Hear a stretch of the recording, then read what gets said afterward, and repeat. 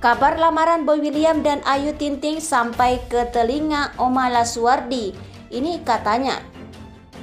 Kabar bahagia datang dari Ayu Tinting dan Boy William. Keduanya dikabarkan kembali dekat setelah sempat merenggang akibat Ayu Tinting mendapatkan tambatan hati yakni Letu Fardana. Kini Boy William dan Ayu Tinting kembali seperti dulu lagi.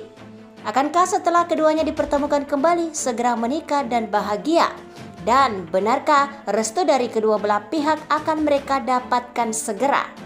Sebelumnya kita ketahui bahwa mereka berdua memiliki keyakinan yang berbeda.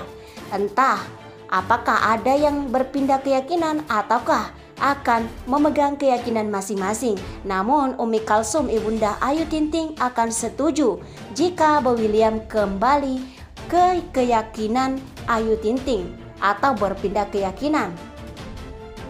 Boy William ungkap terkini dengan Ayu Tinting sebut baik-baik saja hingga saling teleponan saat ini. Presenter ternama Boy William sempat dikaitkan dengan sosok Ayu Tinting sang pedandut.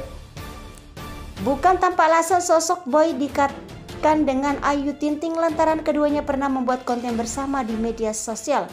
Lama tak terlihat bersama Ayu Boy buka suara hubungan dirinya dengan sang pedandut. Diakui sendiri oleh Boy hubungan dirinya dengan Ayu Tintin terbilang masih baik-baik saja. Yes, I just let you kok. Ya, gue kasih tahu aja kalau semuanya baik-baik aja, kata Boy. Dilansir dari YouTube BW pada 10 September 2024. Boy mengaku bahwa dirinya masih menjaga komunikasi dengan penyanyi alamat palsu tersebut. Gak perlu ada yang harus dikhawatirkan kita masih selalu berkomunikasi, so everything is good. Jadi semuanya baik-baik saja, kata Boy.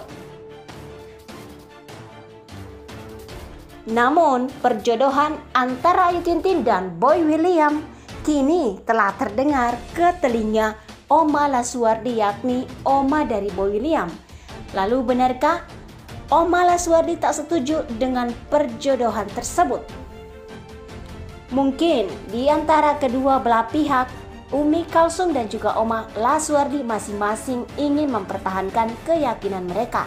Jadi, pertanyaannya, apakah mereka bisa berjodoh? Semoga saja. Bagaimana menurut kalian? Sekian dari video ini. Terima kasih sudah menonton.